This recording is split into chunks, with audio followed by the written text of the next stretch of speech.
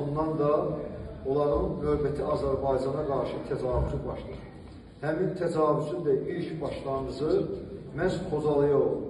Baxın, indi orada mən deyib bilirəm 120 nəfərə yaxın Xocalıda silahlı insan ə, səngərlərdə durmuşlar, ə, yəni öz torpaqlarını qoruyurdular.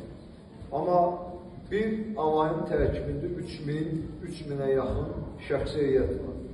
Və bir alayın ə, tərkibində və eyni zamanda ə, 50-dən çox tank, 50 50-dən artıq piyadanın döyüş maşını, zirehli transportyor, ə, desantlı döyüş maşınları Xocalıya daxil oldu.